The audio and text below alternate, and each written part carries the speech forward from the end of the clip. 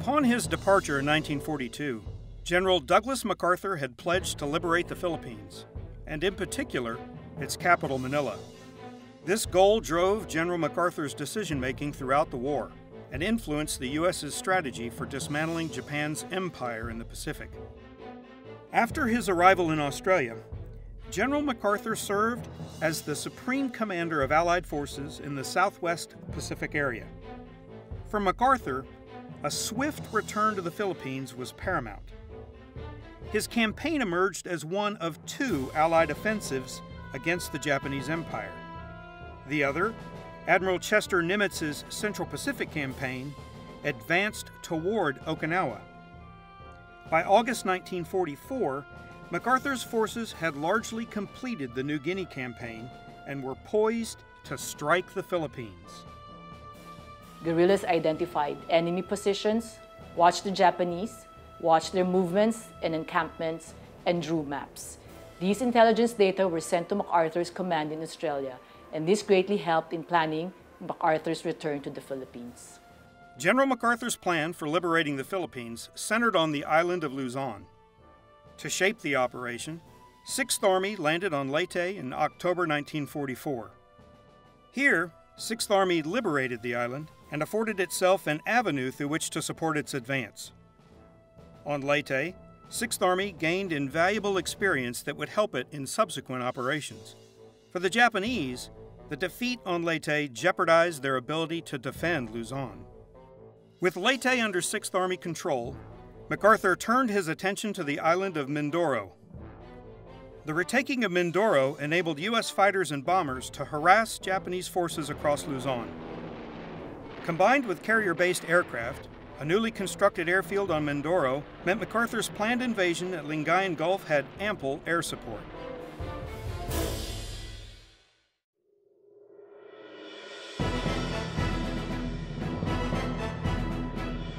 To forestall the collapse of the empire, the Japanese developed the Sho Plan in May 1944. The plan envisioned the Philippines as the site of a decisive air, land, and naval confrontation against advancing Allied forces. The Imperial Japanese Army dispatched General Tomoyuki Yamashita to the Philippines to organize the archipelago's defense. Yamashita had distinguished himself in combat in 1941 earning him the moniker the Tiger of Malaya. Yet, he found himself out of favor with Prime Minister Hideki Tojo and relegated to a garrison command in Manchuria until 1944. The end of Tojo's prime ministership in July of that year and the U.S.'s successful campaigns across the Pacific meant a shot at redemption. He took command of the Japanese 14th Area Army and began preparing it for a decisive confrontation with U.S. forces. Upon his arrival in September, General Yamashita quickly recognized the dire situation facing his army. The Philippine economy had been wrecked under Japanese occupation, and, with the bulk of rice harvests going to Japan, his forces lacked sufficient food, equipment, and supplies. Moreover, Filipino guerrillas ran rampant with attacks against collaborators and Japanese troops. Yamashita faced the daunting task of maintaining Japanese control over the island while also defending it from the impending Allied invasion. The best he could do to meet the Sho plan's intent was to stymie an American invasion through attrition. The fight for Leyte had drained General Yamashita's command of irreplaceable soldiers further straining his ability to confront the well resourced U.S. forces. Consequently, the 14th Area Army adopted the Luzon Jikyu Saksen Keikaku, or Luzon Strategic Plan for Attrition. To maximize his remaining assets, General Yamashita divided his forces on Luzon into three groups Shobu, Shimbu, and Kembu. Yamashita himself commanded the Shobu group, its 152,000 troops defended the northern area around Baguio. Under Major General Rikichi Tsukada, the Kembu Group, with its 30,000 troops, covered Luzon from Clark Field south through Bataan and Corregidor. Lieutenant General Shizo Yokoyama commanded the 80,000 troops of the Shimbu Group, which defended the area surrounding Manila and south toward the Bicol Peninsula. Each group controlled mountainous terrain upon which General Yamashita planned to attrit U.S. forces on Luzon. General Yamashita recognized his forces could neither defend Manila nor provide for its inhabitants. For him, destroying the bridges and making the harbor unusable would render Manila strategically useless to the Americans. Yamashita intended for his army to abandon Manila after removing supplies and demolishing infrastructure. He tasked Major General Takashi Kobayashi with overseeing the evacuation. Kobayashi would eventually withdraw his troops to an area north of Manila, leaving behind the Noguchi detachment. Thereafter, General Kobayashi commanded the Kobayashi Force. The Imperial Navy, however, had different plans. Thanks to a command structure that promoted rivalry between the Army and Navy, the commander of the naval garrison in Manila, Rear Admiral Sanji Iwabuchi, operated outside of General Yamashita's control. Through Navy channels, he obtained authorization to defend Manila. Yamashita ultimately relented and granted the admiral command of the 4,500 soldiers who remained in Manila. These troops, in addition to the 13,500 sailors and Marines of the Manila Naval Defense Force, began preparing the city for Sixth Army's arrival.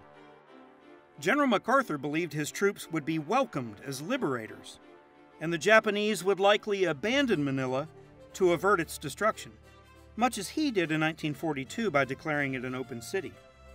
Admiral Iwabuchi had no such intentions in 1945. Like General Yamashita, Rear Admiral Iwabuchi had fallen out of favor after the battleship he commanded, the Kirishima, was sunk by the USS Washington at Guadalcanal on 15 November 1942.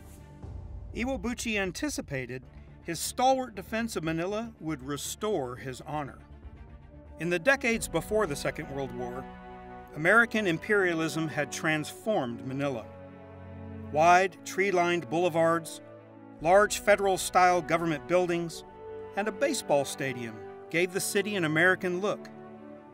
Despite this influence, old Spanish fortifications and churches, as well as traditional Filipino dwellings, filled out the city. American engineers and architects had made infrastructure investments, which resulted in new federal buildings structurally engineered to withstand earthquakes. The Manila Naval Defense Force turned these buildings into strong points and the boulevards into a maze of choke points. Defenders bricked up doors and windows, cut firing slits into walls, sandbagged roofs, and constructed pillboxes throughout Manila. Japanese troops also dug tunnels to connect fighting positions across the city. The vast network of tunnels, which included the sewer system, housed armories and generators. The Japanese incorporation of tunnels into their defensive plan demonstrates one of the signature challenges associated with urban operations. When thoroughly reconnoitered and controlled, subsurface areas offer excellent covered and concealed lines of communication for moving supplies and evacuating casualties. They also offer a means for caching and stockpiling weapons and munitions. Subsurface areas may include subways, mines, tunnels, sewers, drainage systems, cellars, civil defense shelters, and other underground utility systems. Subsurface areas are used to gain surprise, to maneuver against the rear and flanks of an enemy, and to conduct ambushes. The Japanese also conducted extensive counter-mobility operations by barricading streets and laying mines to disrupt maneuver and separate mounted from dismounted forces. To compensate for insufficient weapons and munitions, they also fashioned improvised landmines from aircraft bombs and depth charges. Japanese salvage crews also removed anti aircraft and naval guns from the half submerged ships in Manila Bay and emplaced the weapons in pillboxes and strong points across the city. Guarding the Pasig River as it entered Manila Bay, the Spanish fortress of Intramuros sat in the heart of Manila. Effectively a city within a city, this massive complex served as the core of Rear Admiral Iwabuchi's defense. With stone walls over 7 meters tall and more than 12 meters thick at the base, the 16th century fortress remained formidable. Even to the U.S. Army in 1945. To develop their defensive course of action, the Manila Naval Defense Force had to assess the urban landscape and determine how best to use it against the attacking Sixth Army. Preparation is a key characteristic of the defense. Defending forces study the terrain, enemy forces, and prepare engagement areas. An engagement area is a location where the commander intends to contain and destroy an enemy force with the massed effects of all available weapons and supporting systems. In the defense, commanders shape the enemy approach and steer formations into engagement areas. Obstacles in the urban defense canalize, interrupt, and delay enemy maneuver, giving the defender a significant advantage. Separating dismounted forces from mounted forces disrupts the attacker's cohesion and reduces combat power. It also exposes the attacker to defeat in detail, as a friendly combined arms element can effectively counterattack the leading enemy dismounted force while leaving the enemy armored force vulnerable to anti armor attack by dismounted troops. The Japanese anticipated an American attack from the south, not the north. Iwabuchi surmised the Kembu and Shobu groups would thwart any U.S. advance from the north. He established a series of defensive strongpoints in southern Manila known as the Genko Line. The Genko Line provided defense in depth that stretched from the Manila Polo Club to Nichols Field to Mabato Point, with Fort William McKinley to the northeast. The line consisted of makeshift minefields made up of aerial bombs and depth charges as well as 1,200 pillboxes and numerous anti aircraft and naval guns used as field artillery. With its mutually supported strong points and battle positions, the Genko line possessed the depth necessary to stall even the best equipped forces. Another characteristic of the defense, operations in depth, is the simultaneous application of combat power throughout an area of operations. Operations in depth disrupt enemy long range fires, sustainment, and command and control, and prevent enemy forces from maintaining their tempo. Mutual support exists when positions and units support each other by direct and indirect fires, preventing an enemy force from attacking one position without being subjected to fire from one or more adjacent positions. Mutual support increases the strength of all defensive positions prevents defeat in detail, and helps prevent enemy infiltration between positions. Despite these preparations south of Manila, Iwabuchi was not ready for the overwhelming U.S. advance from the north.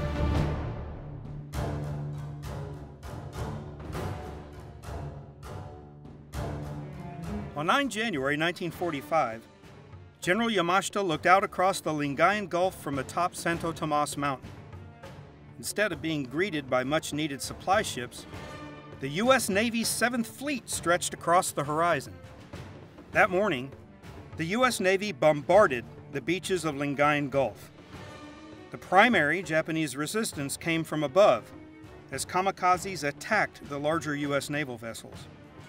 Although harrowing, this allowed the 148 landing craft transporting the lead elements of 6th Army to land largely unopposed. Major General Oscar W. Griswold and his 14th Corps were first ashore. 6th Army, commanded by Lieutenant General Walter Krueger, landed between the towns of Sual and Santo Tomas. Without much fight, 6th Army secured the towns of Lingayen and San Fabian to establish a lodgment. As they penetrated inland, 6th Army gradually encountered stiffening Japanese resistance. General Krueger's operational approach for Luzon centered on clearing the island's central plains north of Manila. But to do this, he needed to secure his eastern flank from the Shobu Group. Clearing and holding the central plains would afford 6th Army the rear area necessary to support future operations in Manila. Unlike General MacArthur, Krueger envisioned the Japanese defending the city. By 24 January, The 14th Corps' two divisions, the 37th and 40th, had advanced toward Clark Field and Fort Stotsenburg. These locations sat roughly halfway between the Lingayen Gulf and Manila. During the advance, Krueger's forces engaged elements of the Kembu Group for the first time. The Kembu Group slowed 6th Army's progress, which troubled General MacArthur. For him, General Krueger's operational approach was overly cautious and lacked the tempo necessary to prevent the Japanese from turning the campaign into a battle of attrition. MacArthur exercised considerable pressure on Krueger to expedite 6th Army's pace. He even placed his headquarters closer to the front than Krueger's own command post. Manila mattered most to General MacArthur. The plight of American prisoners of war held in Manila made liberating the city a priority for him. MacArthur and his staff knew of the suffering of POWs at the hands of their Japanese captors. Many of the POWs were veterans of Bataan and Corregidor. The Japanese massacre of U.S. soldiers during the 1942 Bataan Death March weighed heavily on the American mind, and especially on MacArthur. Fearing the imminent return of U.S. forces, the Japanese 14th Area Army massacred 139 American POWs on the island of Palawan. While advancing, U.S. soldiers and Filipino guerrillas liberated emaciated POWs from Cabanatuan, further underscoring General MacArthur's rationale for reaching Manila quickly. Thankfully, conditions favored a change of tempo. On 27 January, the 1st Cavalry Division arrived in theater and soon joined 14th Corps. 11th Corps executed a landing at Subic Bay on Bataan on 29 January, which relieved forces occupying Clark Field. 14th Corps also pushed elements of the Kembu Group farther west of Fort Stotsenburg, freeing one of its divisions for the attack south. On 30 January, General Krueger hastened 6th Army's pace and tasked 14th Corps with a rapid advance on Manila. In turn, Two columns from the 1st Cavalry Division left an assembly area just north of Cabanatuan for Manila. The lead column was built around the 2nd Squadron 8th Cavalry. 2nd Squadron 5th Cavalry served as the nucleus of the other column. In addition to the cavalry squadron, each column included a medium tank company, a 105 mm howitzer battery, and transport. The 148th Infantry Regiment 37th Infantry Division, departed the area near Clark Field and followed close behind. Objectives included rescuing POWs confined at Santo Tomas University and Bilibid Prison, as well as securing Malacañang Palace and the Legislative Building. The university, prison, and palace sat in northern Manila above the Pasig River. The Legislative Building was located south of the river. U.S. forces also attacked from the south to prevent the Shimbu Group from reinforcing the Manila Naval Defense Force. Two regiments from the 11th Airborne Division executed amphibious landings near the town of Nasugbu on 31 January. This placed the 11th Airborne approximately 88 kilometers southwest of Manila. As the two regiments advanced, the 511th Parachute Infantry Regiment joined them after executing an airborne operation on Tagaytay Ridge. Upon reaching Manila, these units operated under 6th Army. From the north, the 1st Cavalry Division's columns surprised Japanese troops on the outskirts of Manila. On 3 February, they arrived at Grace Park on the city's northern edge. The 1st Cavalry Division's lead column then pressed on to Santo Tomas University. After defeating the Japanese guards, the U.S. soldiers liberated 3,500 civilian captives. The next day, the 37th Infantry Division's 148th Infantry Regiment liberated 465 civilians and 810 POWs from the nearby Bilibid prison. Soldiers of the 1st Cavalry Division's 1st Column secured Malacañang Palace but the legislative building still sat well beyond reach. 1st Cavalry Division's order to secure these sites highlights the importance of controlling essential buildings, infrastructure, and locations during urban operations. Many urban areas are too large to be completely occupied or effectively controlled without an enormous force. Therefore, commanders should focus their efforts on controlling only the essentials to mission accomplishment. At a minimum, this requires control of key terrain.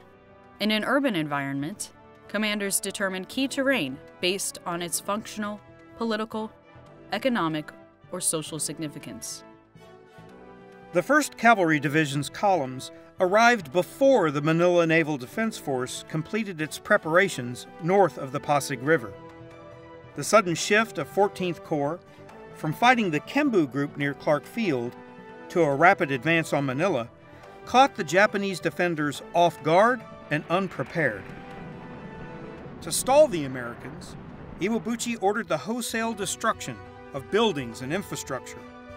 As the 1st Cavalry and 37th Infantry Divisions entered the city, Japanese troops began laying waste to the area north of the Pasig.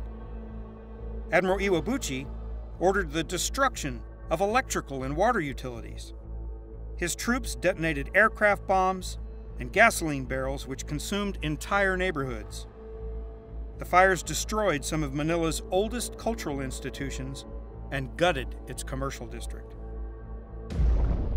The 14th Corps commander, Lieutenant General Oscar Griswold, noted A lot of this destruction is wanton and of no military purpose. The Manila Naval Defense Force also began the systematic massacre of civilians. As U.S. troops liberated Santo Tomas University, Japanese soldiers rounded up suspected Filipino guerrillas in the city's Tondo district. By evening, Japanese soldiers had beheaded approximately 20 men. The slaughter continued as they bound and bayoneted women and children, leaving the bodies of 19 women and 27 children in a vacant lot. Some survived, and their testimony later helped U.S. Army war crime investigations. The Manila Naval Defense Force's actions ensured the city descended into the depths of barbarity before the battle had even begun. Having achieved three of its four objectives, 14th Corps began clearing Manila north of the Pasig River. With the 37th Infantry Division as the main effort, the Corps advanced south. Finally, on 5 February, they reached the Pasig River, but Japanese forces had destroyed the last remaining bridge over this vital waterway. Meanwhile, the 1st Cavalry Division conducted a flanking maneuver east through the suburbs but was soon redirected to secure a critical water treatment facility farther north. Then, the 1st Cavalry Division attacked west toward Manila Bay in an effort to block the Japanese withdrawal. Despite securing several of their intermediate objectives, the U.S. forces' rapid advance did not last.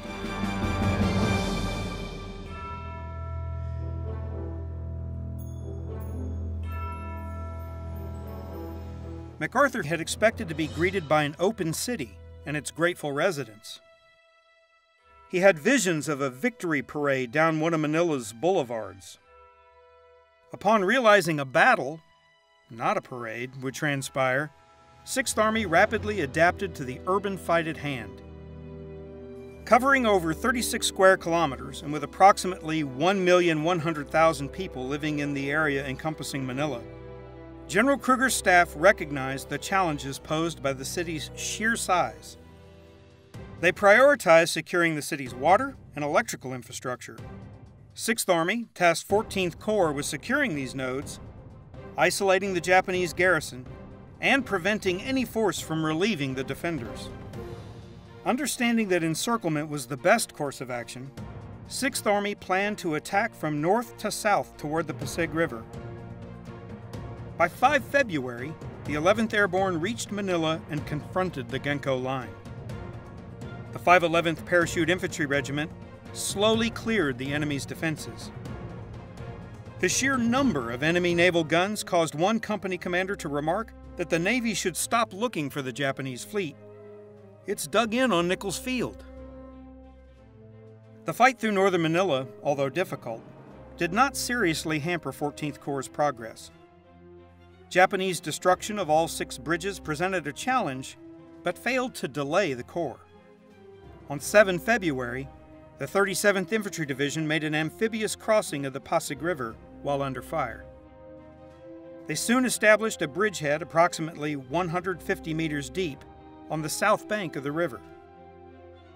By the next morning, engineers finished construction on a pontoon bridge, which enabled an entire infantry regiment and two battalions to occupy positions on the south bank.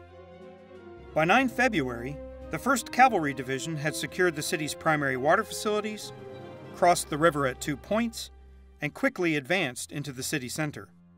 On the evening of 10 February, the 37th Infantry Division cleared northern Manila of Japanese resistance. Elements of the 37th Infantry Division then crossed the Pasig and moved west. The rapid U.S. advance stunned the Japanese. With U.S. soldiers already across the Pasig and others attacking the Genko line, Iwabuchi relocated his headquarters to Fort McKinley. MacArthur feared excessive close air support and artillery fire would endanger the lives of civilians and destroy the critical infrastructure necessary for restoring essential services after combat. Consequently, elements of the 37th Infantry Division began their thrust into the heart of Manila with only limited air and artillery support. Effective combined arms operations in urban areas require adjusting tactics, techniques, and procedures to ensure units can support each other without causing excessive harm to the populace or damaging critical infrastructure. Artillery fire in urban areas must be closely coordinated and planned in detail to include considerations of munitions effects, the psychological effects on the populace, and potential collateral damage. Because of its steep angle of descent, high angle fire can achieve greater effects and is usually the preferred method of fire in urban operations. High angle fire is fire delivered at elevations greater than the elevation of maximum range of the gun and ammunition concerned. However, range decreases as the angle of elevation increases. Urban operations often demand more detailed and restrictive rules of engagement, and a greater number of protected sites require restrictive fire support coordination measures. A fire support coordination measure is a measure employed by commanders to facilitate the rapid engagement of targets and simultaneously provide safeguards for friendly forces. Fire support coordination measures can be either permissive or restrictive in nature. Permissive fire support coordination measures are the Coordinated Fire Line, the Fire Support Coordination Line, or FSCL, the Free Fire Area, and the Kill Box. Restrictive fire support coordination measures are the No Fire Area, Restrictive Fire Area, and the Restrictive Fire Line. Additionally, airspace coordinating measures can ensure that other missions, such as air reconnaissance and attack aviation, can transit or operate in the airspace above and around the urban area. For air delivered munitions, terminal control and guidance can help ensure the delivering platform has acquired the correct target, thereby reducing the risk of fratricide and collateral damage. A crucial part of Manila's public works sat on Provisor Island in the Pasig River. The 37th Infantry Division deemed securing the electrical plant on the tiny island as vital to avoiding power outages in the city. The division tasked the 129th Infantry Regiment with conducting an amphibious assault to seize this critical node of the power grid. Elements of the Manila Naval Defense Force had established fighting positions within the power plant complex. Even before the 129th amphibious assault, the Japanese destroyed critical power generation equipment. Three days of intense fighting left the power station in complete ruin. The 129th Infantry suffered considerable losses on the island, with 45 dead and 96 wounded revealing the risks involved with conducting an amphibious assault without adequate indirect fire and close air support. South of the now liberated Provisor Island, the 148th Infantry Regiment engaged Japanese defenders in the heavily fortified Paco Railroad Station. The U.S. soldiers overcame the Japanese pillboxes and crew served weapons outside the station and fighting positions within before securing the strong point. Despite the rules of engagement and attempts by U.S. forces to mitigate damage, the ongoing fighting was destroying Manila. The rules of engagement changed once aerial reconnaissance revealed that the Japanese had fortified almost every major structure in the city. Sixth Army, therefore, gave up any notion of saving the city's buildings. Saving American soldiers now took precedence. When the 148th Infantry Regiment landed at Lingayen Gulf, its total strength included 3,268 soldiers.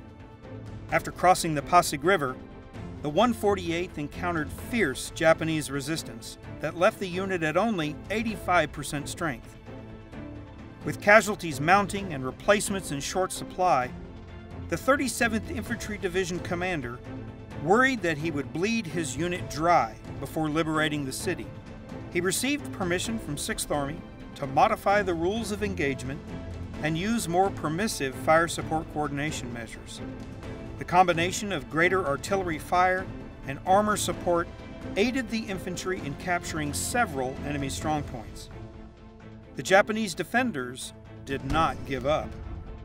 The new police station required eight days of intense bombardment and four infantry assaults before falling to the 129th Infantry Regiment.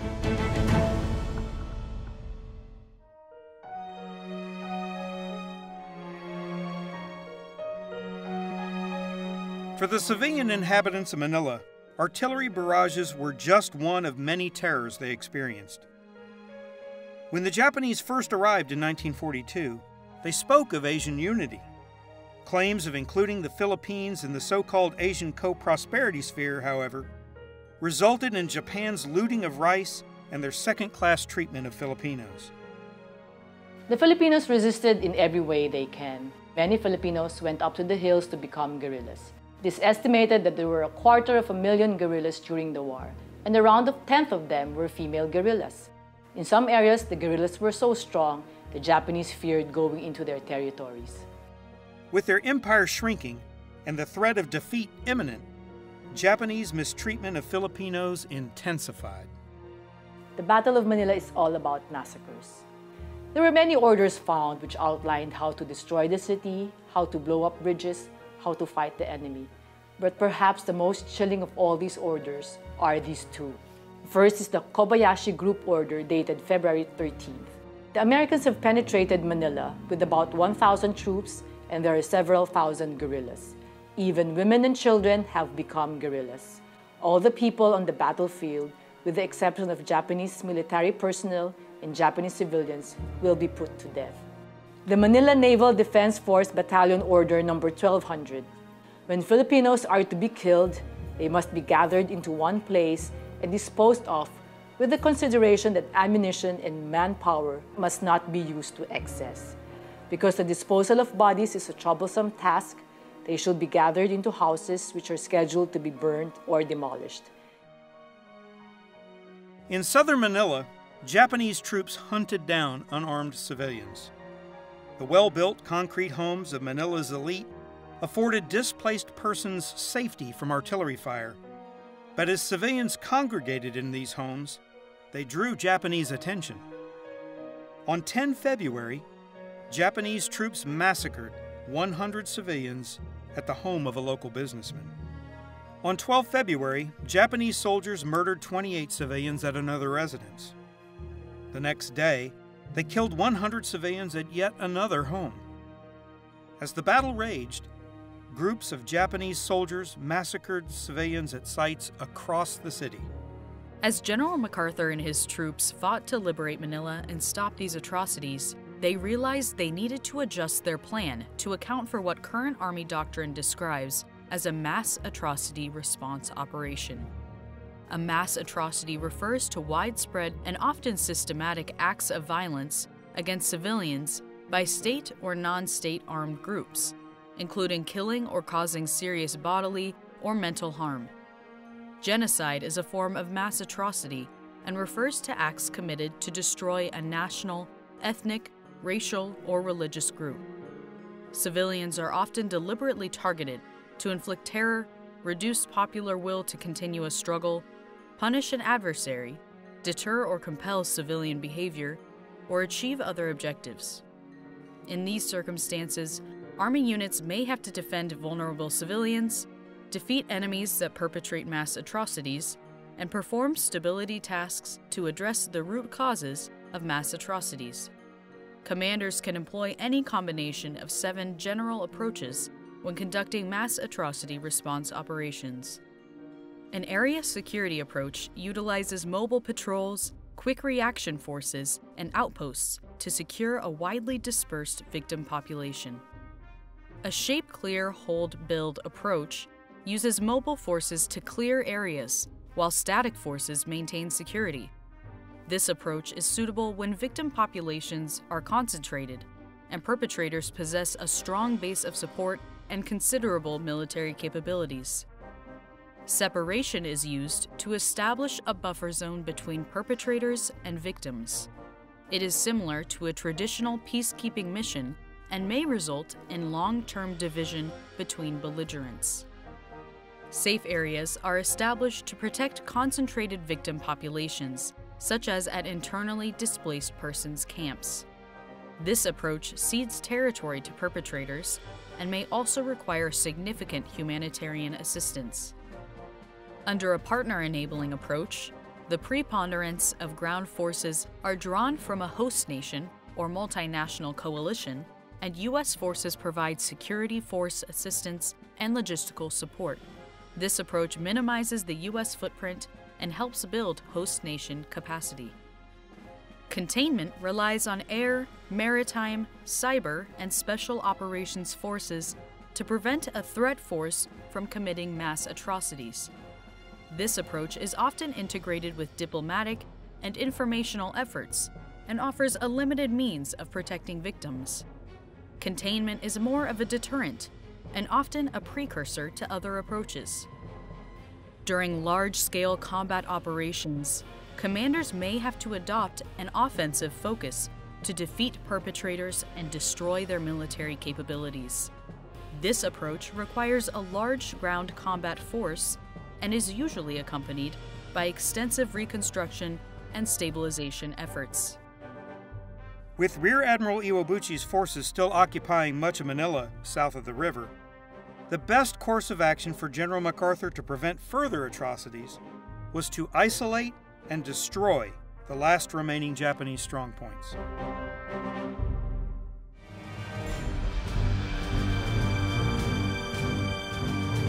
As the fight raged at Nichols Field and U.S. troops moved into position at the Philippine General Hospital, the 1st Cavalry Division advanced to the waters of Manila Bay. On 12 February, the division linked up with the 11th Airborne Division and completed the encirclement of the Manila Naval Defense Force. After elements of the 11th Airborne captured Nichols Field on 13 February, the 1st Cavalry Division continued its clearing operations. Resistance stiffened as 14th Corps advanced farther south into the city. Troops fought block by block and building by building against Japanese defenders who often refused to surrender. The clearing of the Pasay district was typical of engagements that occurred all across the city. Over a period of two days, the 12th Cavalry Regiment and the 2nd Squadron of the 5th Cavalry Regiment fought their way north on Vito Cruz Street in the vicinity of Harrison Park, LaSalle University, and Rizal Memorial Baseball Stadium. The units engaged several heavily fortified Japanese strongpoints. On 15 February, 12th Cavalry conducted preparation fire against the heavily defended LaSalle University for over an hour before clearing it. After clearing the university, 12th Cavalry moved on to Harrison Park and Rizal Memorial Baseball Stadium. The concrete structures and clear fields of fire made Harrison and Rizal costly objectives for the Americans.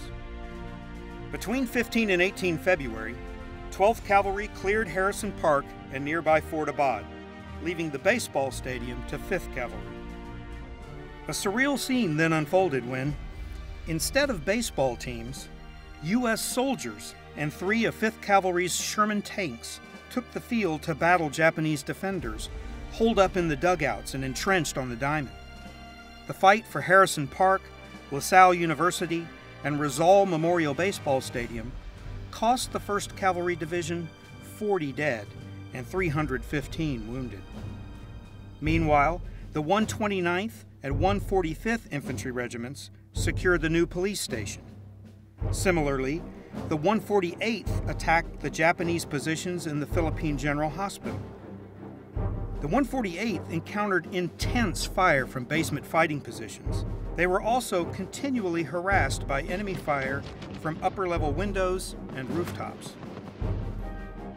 On the first day, the 148th Infantry suffered 22 killed in action and 29 wounded. Although initially reluctant to fire on a hospital, the presence of Japanese fortifications confirmed the target as legitimate and 14th Corps authorized indirect fire support.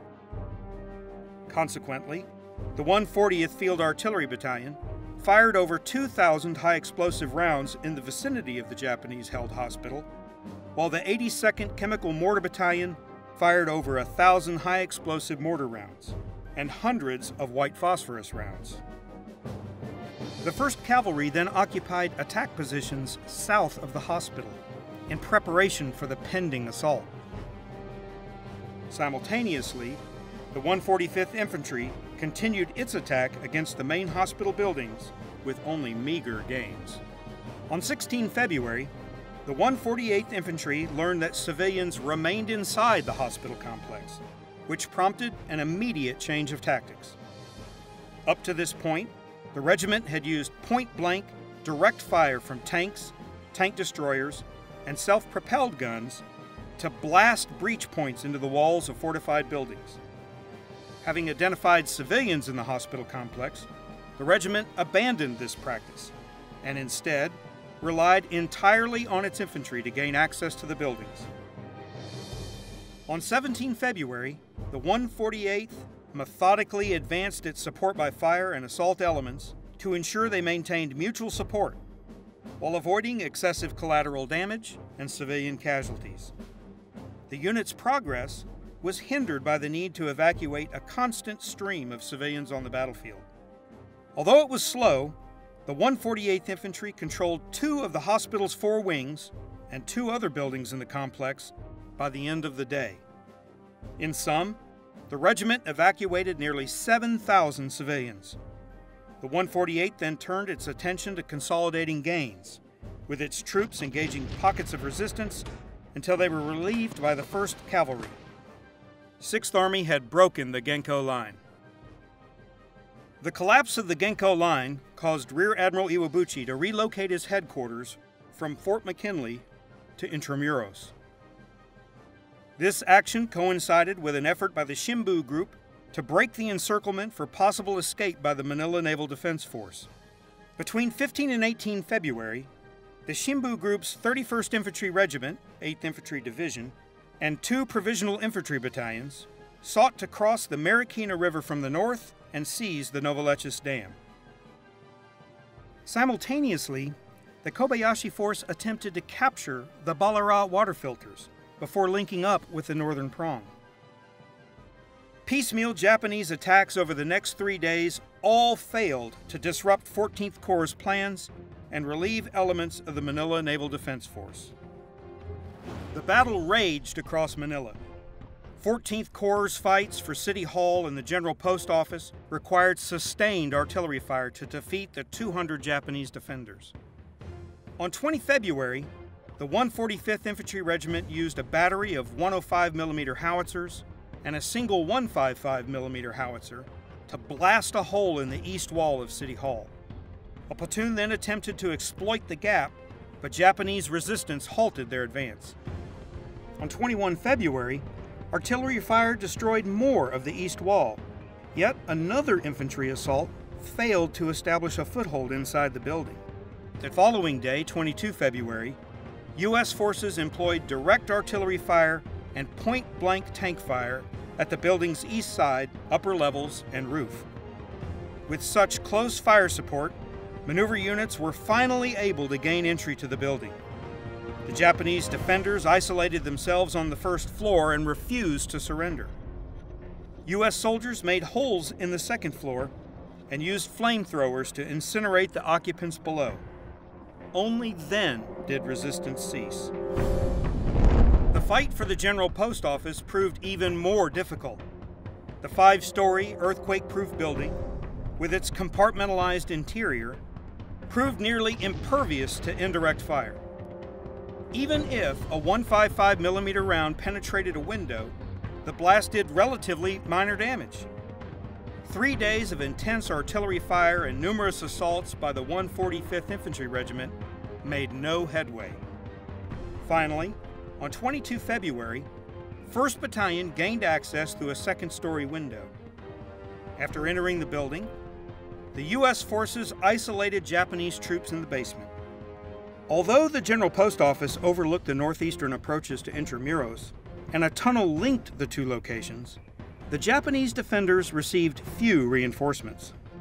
At this point in the battle, the Manila Naval Defense Force could only fight with what it had.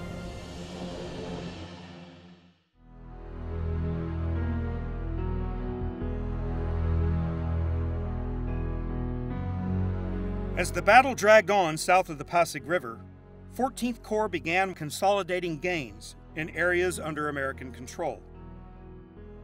With the local government in shambles and the city largely destroyed, 14th Corps alone had the ability to provide relief for the city's inhabitants.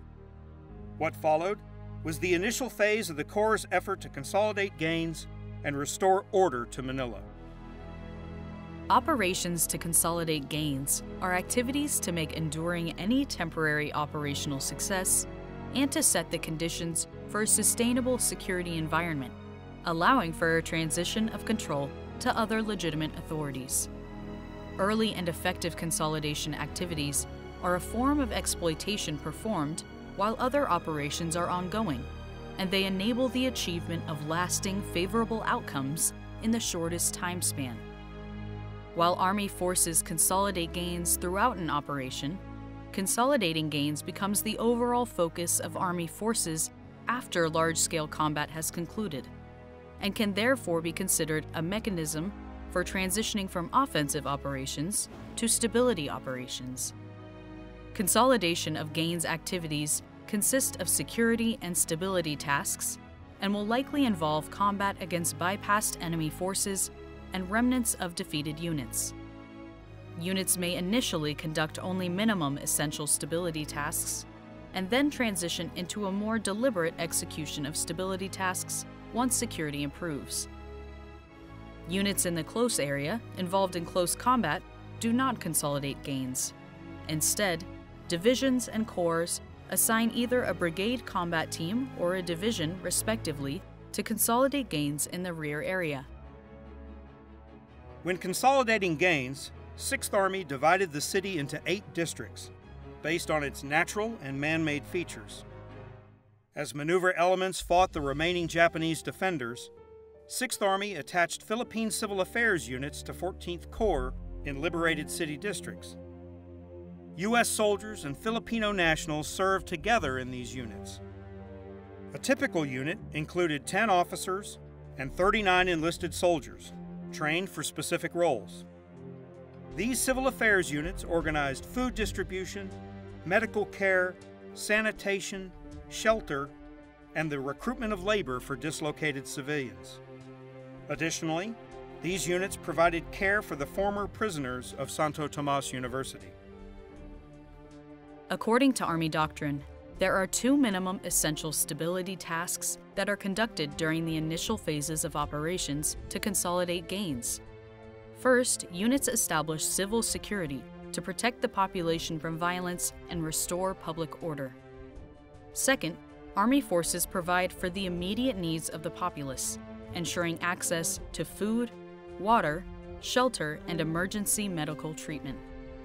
While units are legally responsible for ensuring the protection and well being of civilian populations, they are not required to perform these tasks if an appropriate host nation or civilian relief organization is available. Using host nation personnel to provide essential services and humanitarian aid can be an important first step in rebuilding the public's confidence and trust in the host nation government. Restoring order to Manila required providing civil security and distributing relief supplies. Division and Corps provost marshals and supply officers worked to accomplish both. Obtaining supplies during an ongoing battle required an extensive logistics network and detailed planning to balance the demand for fuel and ammunition against the need for food and medical supplies. Furthermore, the destruction of rail lines by the Japanese before the invasion, the shipwrecks littering Manila Bay, and the damaged port facilities meant all supply shipments had to be disembarked at San Fabian.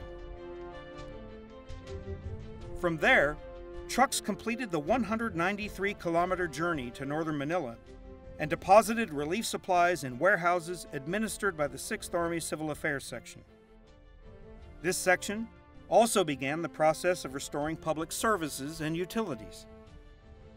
To address the scarcity of potable water, it established water distribution points throughout the city. Whenever possible, civil affairs units received assistance from combat troops. Together, these units began restoring basic essential services and alleviated suffering in the city, while fighting continued just south of the Pasig River.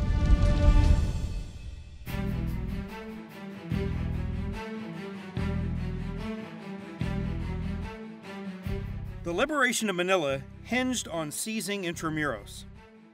The massive complex dominated the region where Manila Bay and the Pasig River met. The city fortress abutted the Pasig River to the north, with the river serving as a formidable defensive obstacle. When the 37th Infantry Division reached the opposite side of the river in early February, it directed fire against targets of opportunity in and around Intramuros' north wall. A holding force, which included M7 Priest 105mm self propelled howitzers and tank destroyers, harassed the fortress's occupants for the duration of the battle. On 17 February, the division commenced the formal artillery bombardment of the fortress in preparation for the pending attack. When the time came for them to assault Intramuros, American fire had long since silenced all of the Japanese artillery and mortars within. The 37th Infantry Division outlined its plan for the attack on Intramuros in Field Order 30, which set 23 February as the operation's start date. On the night of 22 February, heavy direct fire weapons and artillery engaged predetermined targets. To the north and east of Intramuros, the 37th Infantry Division placed 12 105mm and six 155mm artillery pieces in direct fire positions. Charlie Battery, 544th Field Artillery Battalion, used its massive 240mm howitzers to breach the north wall and destroy a Japanese strongpoint at the nearby government mint. The 637th Tank Destroyer Battalion also blasted holes in the fortress's northern wall for later exploitation by the infantry. As part of a shaping operation, the 3rd Battalion, 145th Infantry isolated Japanese troops in the agriculture, finance, and legislative buildings during the night, preventing them from relieving the garrison in Intramuros. At 0730 on 23 February, all of the 37th Infantry Division's artillery and armor initiated a support by fire mission against Intramuros. The division directed its fire against two main points of entry the Quezon and Parian gates. The heavily barricaded Quezon gate required additional fire from the 145th Infantry's M7 priests. At 0830, the division lifted its fire so that the 145th could attack both identified points of entry. Simultaneously, 3rd Battalion, 129th Infantry, crossed the Pasig River in assault boats and entered the fortress through the breach in the north wall. The U.S. soldiers then battled from building to building as the Japanese defenders recovered from the initial shock of the preparation fire. Although the 129th quickly took control of the fort, it took the rest of the day to subdue pockets of enemy resistance. By nightfall, most of Intramuros lay smoldering. These limited offensive operations were key to consolidating gains. As in Intramuros, units conduct variations of a movement to contact, such as a cordon and search or search and attack to locate and destroy the remnants of bypassed or defeated enemy forces. This prevents the enemy from prolonging the conflict and hastens the transition to stability.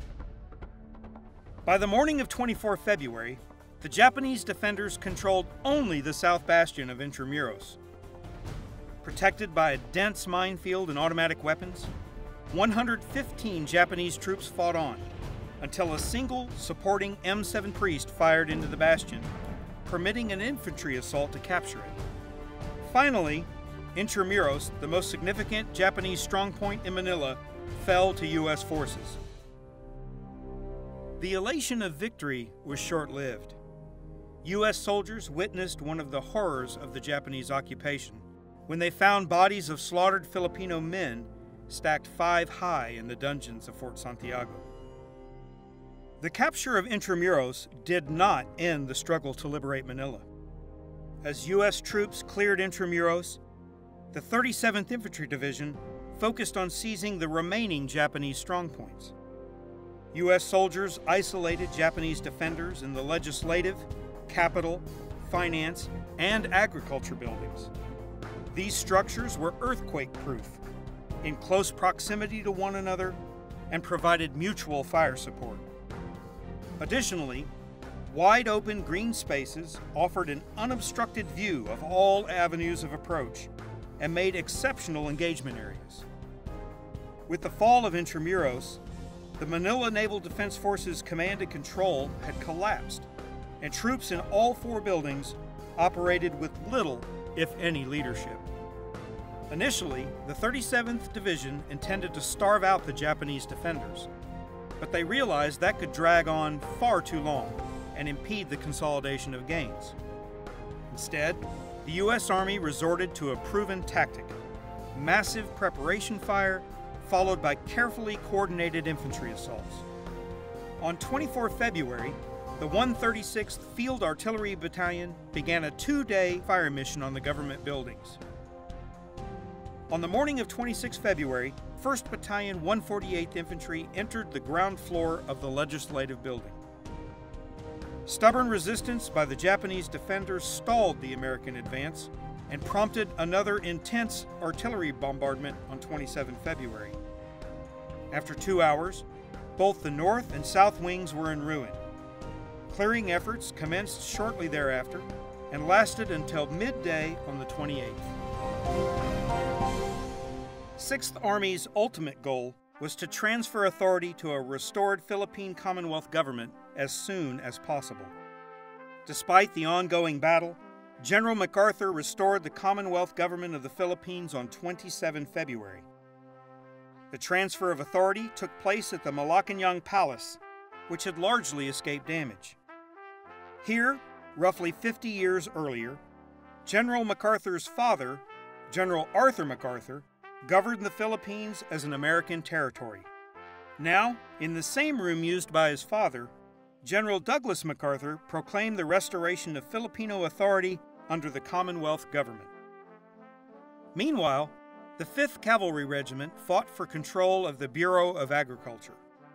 There, cavalry troops relied on intense artillery fire to destroy the Japanese strongpoint.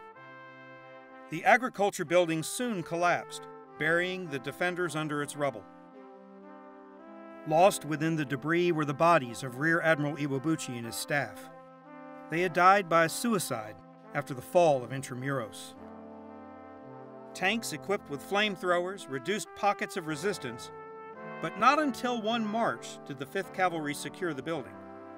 By 3 March, the U.S. Army controlled the shattered remains of all four government buildings. The battle was finally over.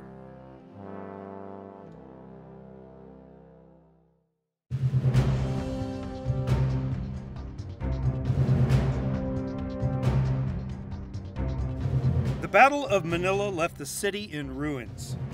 While some of the city avoided destruction, a third of Manila was badly damaged, and another third was completely destroyed.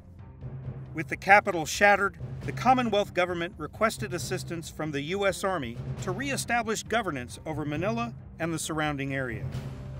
Specifically, President Sergio Osmeña asked General MacArthur to help reconstitute key departments police, health and welfare, public works, and fire.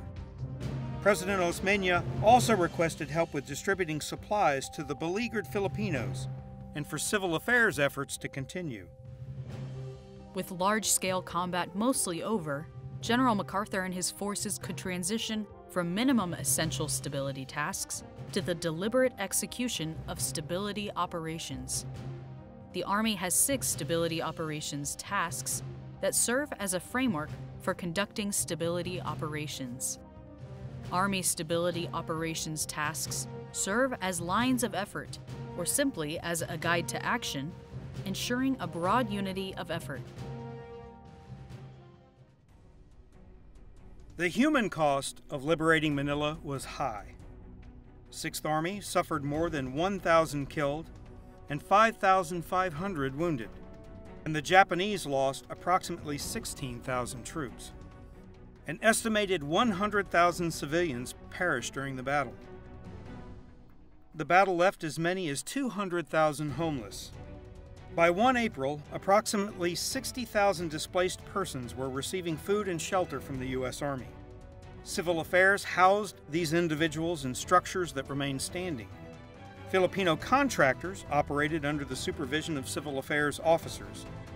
By 1 May, the number of displaced persons in the direct care of Civil Affairs units dropped to 37,000, and by June 1945, it was down to only 6,000.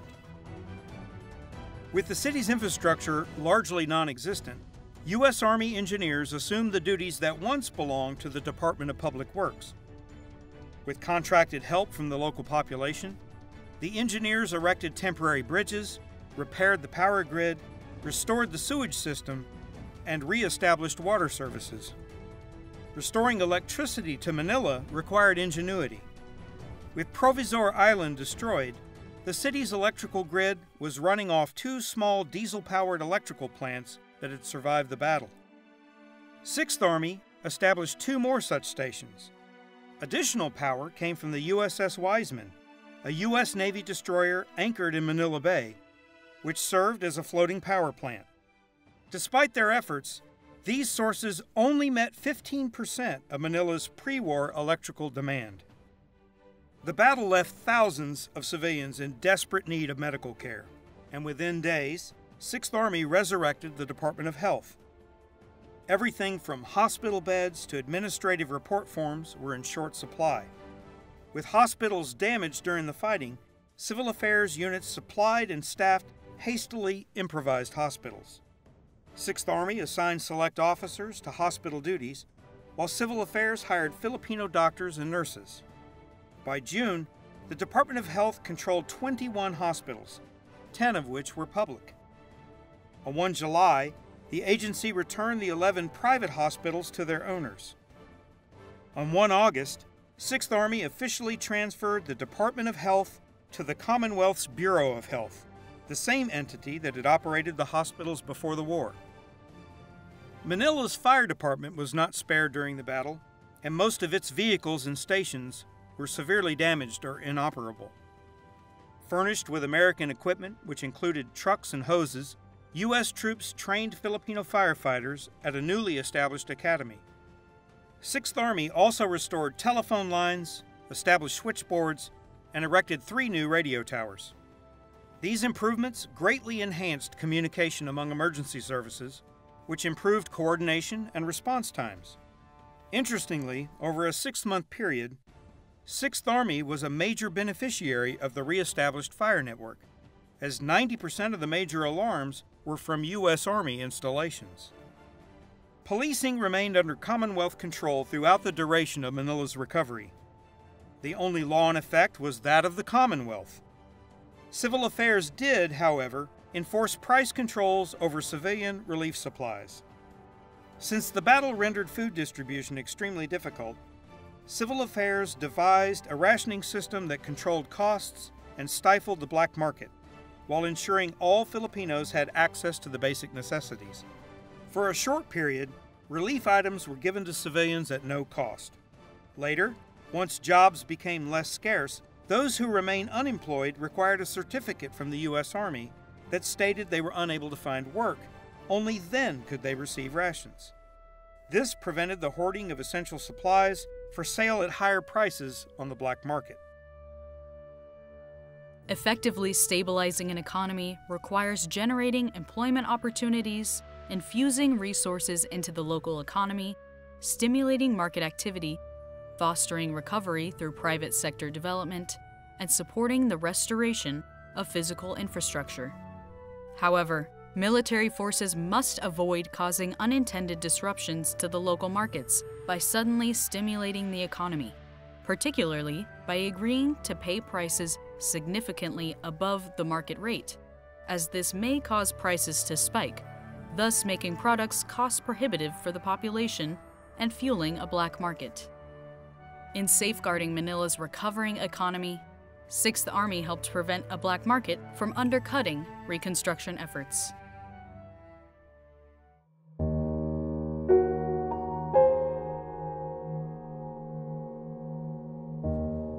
Sixth Army had freed Manila, but at a great cost. When the guns finally fell silent, people scrambled out of their hiding places and started looking for their loved ones. Since there were thousands of decomposing bodies in the streets, there was no recourse but to bulldoze these bodies into big pits that became mass graves. And in those graves lie our doctors and scientists, our architects and engineers, teachers, businessmen, and bright young people, murdered in cold blood by maniacal Japanese troops. When the U.S. detonated atomic bombs over Hiroshima and Nagasaki in August 1945, the liberation of the Philippines was still incomplete. General Yamashita's Shobu Group had been fighting a war of attrition against Sixth Army in northern Luzon. Only with Imperial Japan's unconditional surrender on 15 August did Yamashita's forces end their fight and the U.S. Army complete the liberation of the Philippines. In consolidating gains, Sixth Army restored a semblance of order to a city wrought with chaos and prevented the Manila Naval Defense Force from prolonging the conflict. Timely stability operations prevented undue suffering and restored the essential services necessary to hasten a return to normalcy. The rapid transfer of authority was only made possible by close cooperation between the U.S. Army and the Commonwealth Government of the Philippines.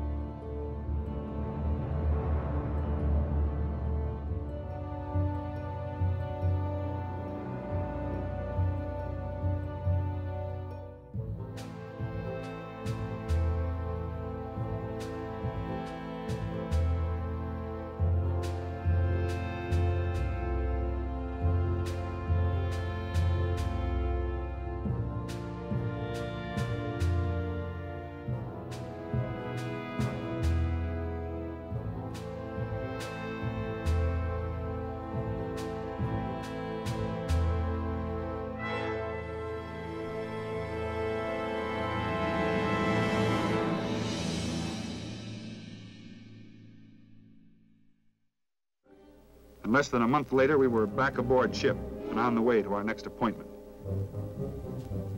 About the only place left to go in early 45 was Japan itself. We almost made it. Okinawa,